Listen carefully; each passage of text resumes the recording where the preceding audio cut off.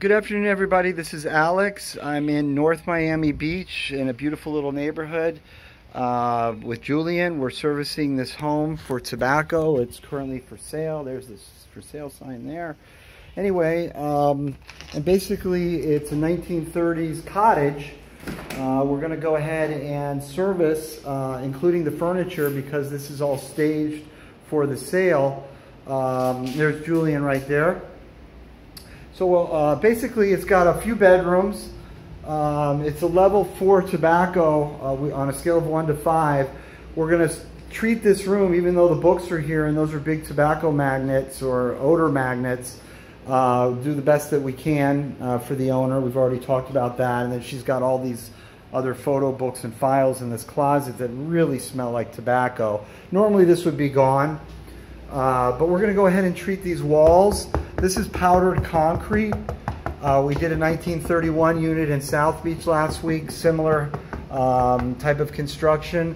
Uh, so real hard to treat uh, when it comes to odors because it's so dense, but we're experts.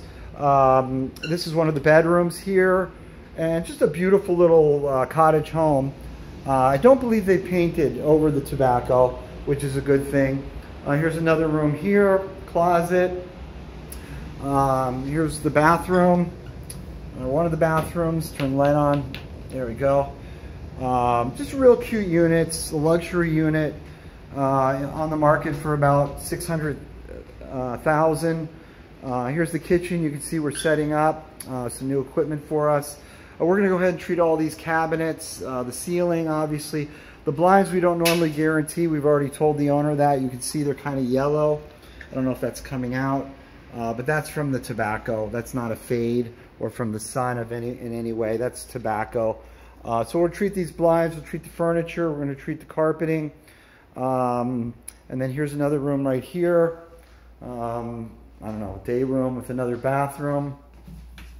Just kind of an updated unit, very, very nice. Like a lot of the flippers that we do, uh, very similar. Um, and there's a closet here with clothes. So this is usually empty, but we're going to go ahead and service it in here with our second step patent pending process. Although we're not guaranteeing it. You can see she's got a lot of odor things in here. In fact, in the AC, if I can find it real quick for you guys before you get bored, we're going to treat this um, table and these seats as well. Um, big thick wood tables or big odor magnets. Here's the AC. Um, she actually put a fragrance device. Oh, she unplugged it. Now my card is there but there was a fragrance device here and she's unplugged it. Um, but we're gonna go ahead and treat this AC unit as well so everything smells fresh and clean. And that's really basically it. Uh, pretty little unit. Uh, we are luxury real estate odor removal specialists and we look forward to earning your business as well. Thanks for viewing.